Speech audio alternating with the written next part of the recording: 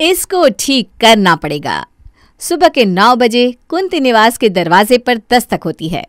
कंधे पर बैग और हाथ में एक लिफाफा लिए एक शख्स कुंती निवास के बाहर खड़ा हुआ, अंदर से किसी के आने का इंतज़ार कर रहा था। तभी महेश दरवाजे पर आता है। अगर इस घर से किसी ने कुछ ऑर्डर किया है तो मैं पार्सल रिसीव नहीं करने वाला। ले जाओ वापस पार्सल। बताओ सुबह सुबह भी तुम आ जाते हो पार्सल लेकर। अरे इस वक्त मैं पढ़ाई करनी चाहिए। ये उम्र डिलीवरी करने की है क्या बेटा? ये सब छोड़ो। ये कोई काम अच्छा थोड़ी ना है? अरे कितने लोगों का मन दुखता होगा।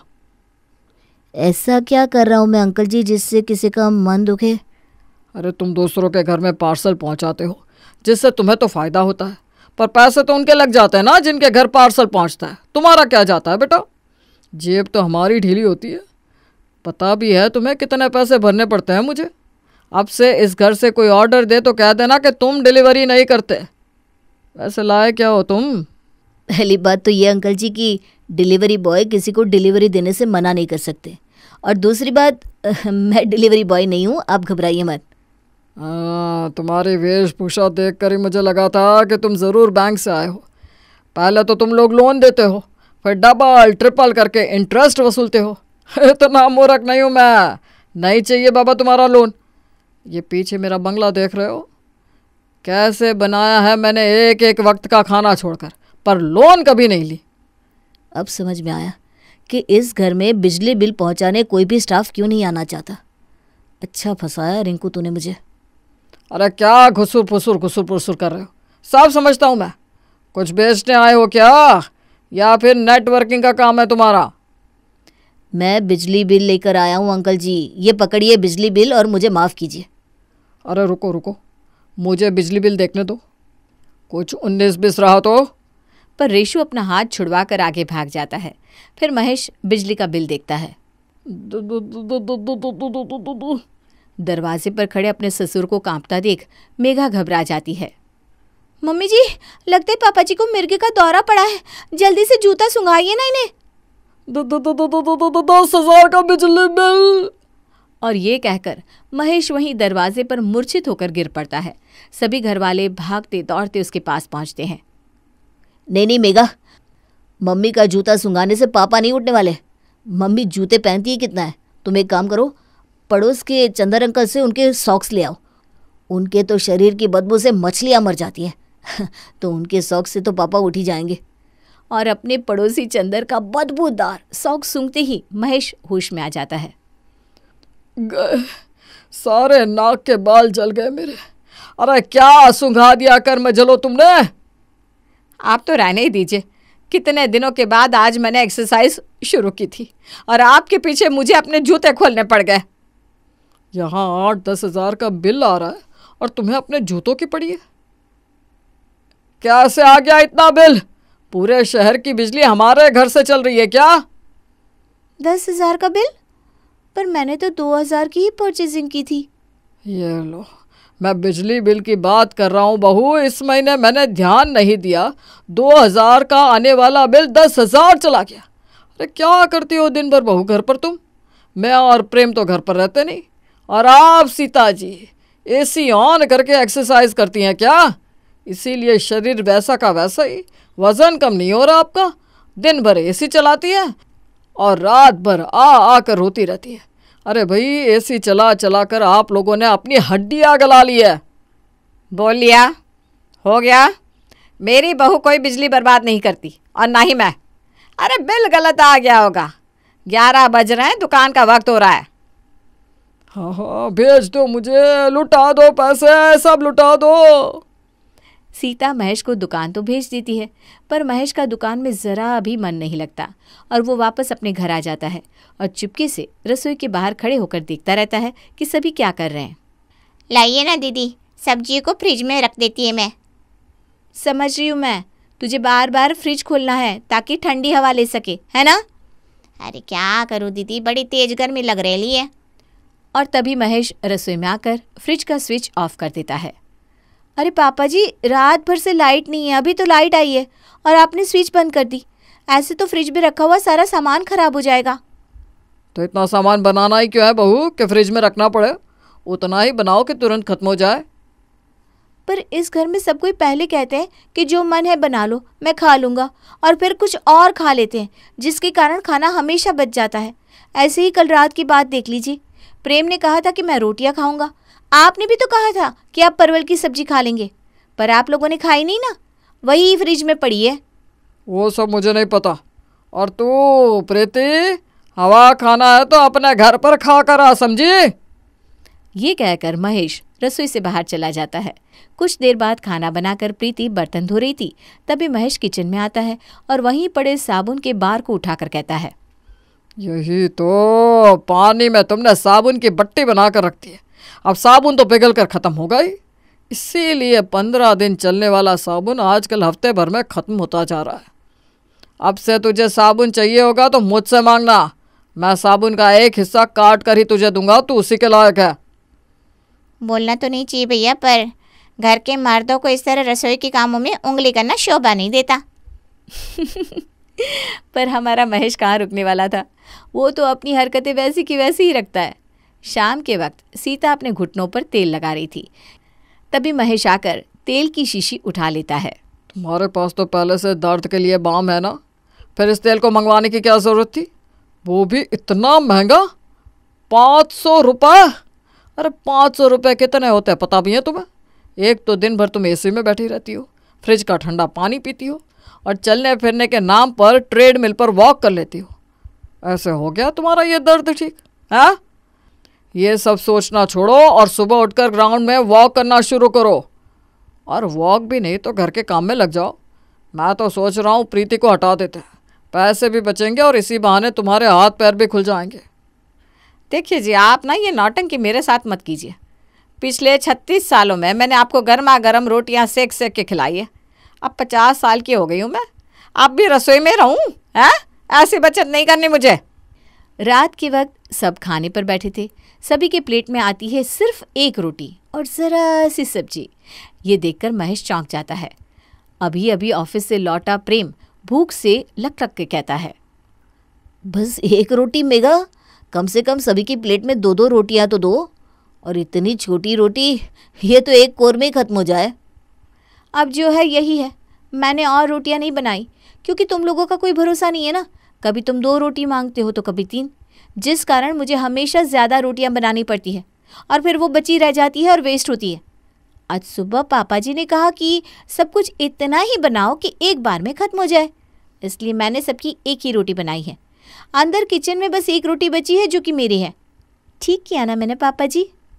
सत्य। सत्यानाश।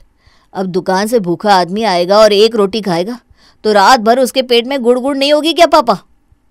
मेघा ने किया तो वही था जो महेश ने कहा था। पर महेश अब कहता क्या? खाते वक्त बोलते नहीं है। अरे पर इसमें खाने का क्या है? इतना सा खाना तो देखकर ही खत्म हो गया। अगली सुबह ताज़ी चटनी पीसने के लिए जैसे ही मेगा मिक्सर ग्राइंडर ऑन करती है फ़ौरन महेश किचन में पहुँच जाता है और मिक्सर ग्राइंडर बंद कर देता है। ये प्रीति किसी काम की नहीं है। तुझे दिया था ना मैंने सिलबट्टा रखने के लिए। जा। सिलबट्टा लेकर आ। देख बहू, यह है सिलबट्टा। और ये धनिया इस पर ऐसे रख और इसे पीसना शुरू कर दे। ऐसे ना तेरे हाथों की एक्सरसाइज भी हो जाएगी, काम का काम और बचत की बचत। हद कर दी पापा जी ने। इतनी गर्मी में सिलबट्टे पर धनिया की चटनी कैसे पीसूँगी मैं? वेट लॉस का भूत तो मम्मी जी को चढ़ा है, पापा जी, मुझे नहीं। इतनी गर्मी है कि मुझे घमोरी आ गई है। अब सिलबट्टे पर चटनी कैसे पीसूं?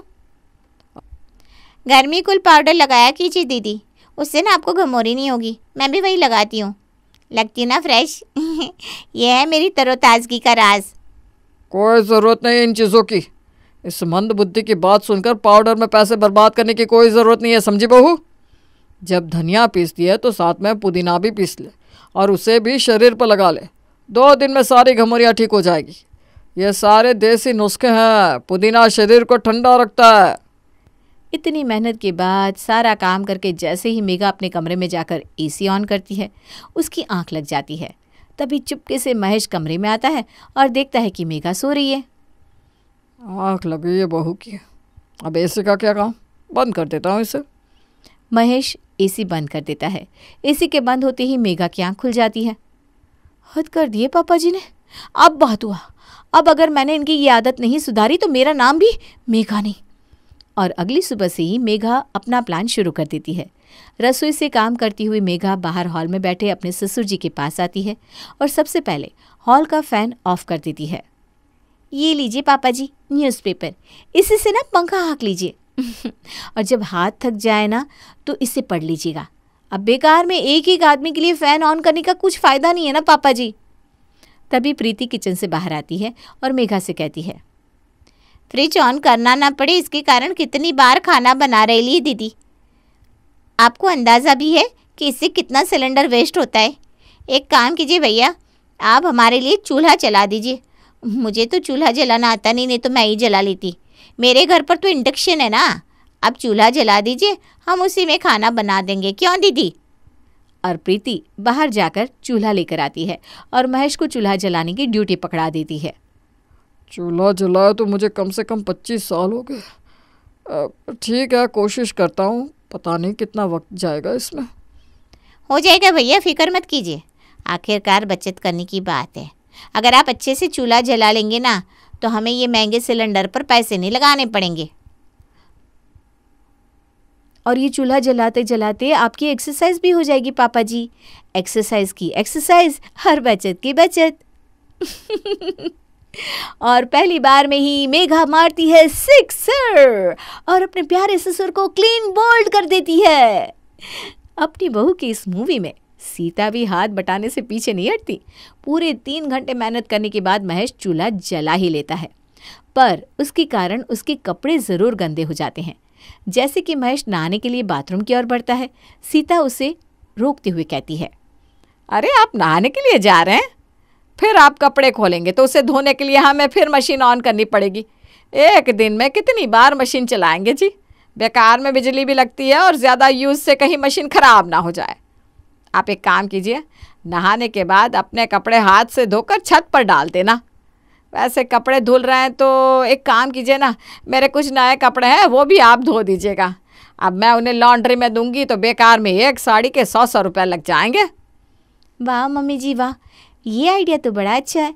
पापा जी, क्यों ना कपड़े की ड्यूटी आप ही ले लीजिए। वैसे भी ना आजकल आप घर पर रहते हैं। अकेले घर पर बैठे बैठे कहीं आपको डिप्रेशन की बीमारी हो गई तो? ना बाबा ना, फिर उसमें अलग खर्च।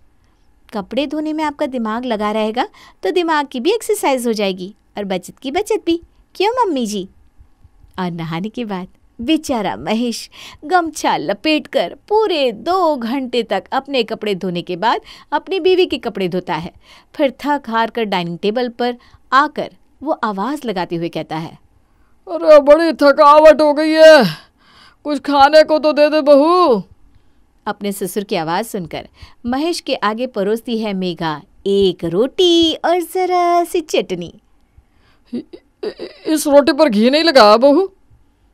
दीदी तो भर भर के घी लगाती है भैया। इनको समझ ही कितनी है, पर मैंने बोल दिया, अब से बेकार में रोटियों पर घी नहीं लगेगा। दाल में घी सब खा ही रहे ना, और घी खाकर करेंगे क्या? ये घोड़ा, कभी घी तेल खाता है क्या? पर कैसा तंदुरुस्त है ना, और सभी एक एक रोटी खाएँगे तो वेट लॉस का वेट लॉस भी हो जाएगा, और बचत की बचत। दिन भर मेहनत करने के बाद महेश को खाने मिलती है एकमात्र रोटी। एक तो इतनी गर्मी है। ऊपर से फ्रिज भी ऑन नहीं है वरना कोल्ड ड्रिंक ही पी लेता। खैर थोड़ी देर आराम करता हूँ। और जैसे ही एसी ऑन कर महेश लेटता है अचानक ही कमरे में लाइट्स ऑफ़ हो जाती है।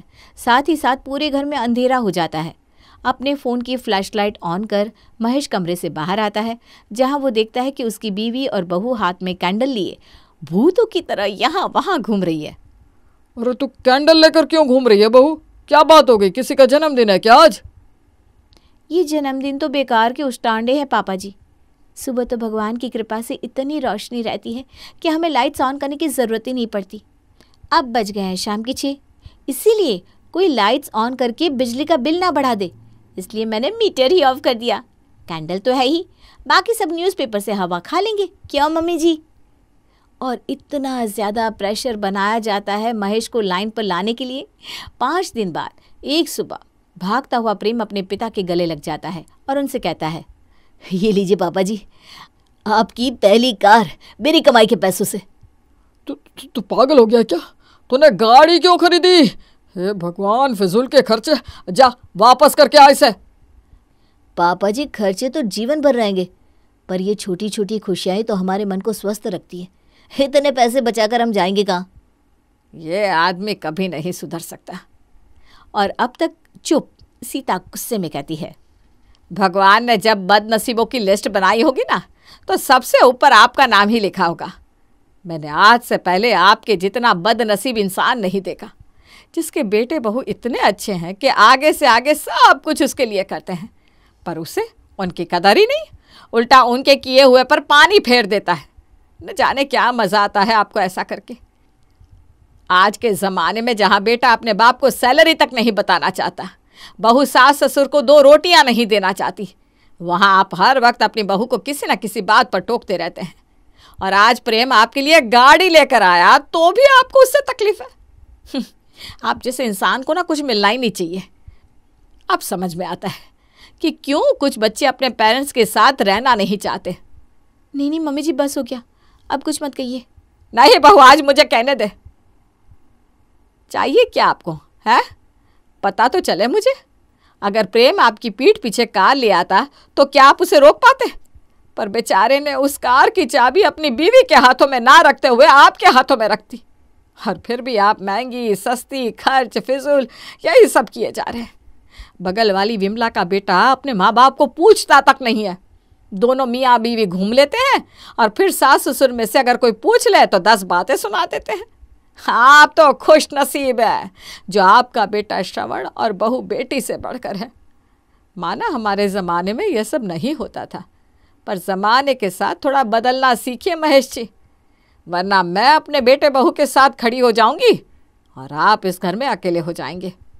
मुझे माफ़ कर दे प्रेम, मुझसे बहुत बड़ी गलती हो गई। ठीक कहा सीता जी आपने। मैंने कभी अपने बच्चों के एफर्ट्स पर ध्यान ही नहीं दिया। मैं तो हमेशा बचत पर ही लगा रहा। पर अब मैं बदलने की पूरी कोशिश करूँगा। ला बेटा गाड़ी की चाबी दे। मैं ज़रा एक राउंड लगा कर आता हूँ। वैसे ये डीजल की कार है कि पेट्रोल की? क्यों पापा जी? नहीं बेटा वो पेट्रोल ज़्यादा महँगा है ना। डीजल की कार रहती तो सस्ते में काम हो जाता। हे भगवान ये आदमी भी ना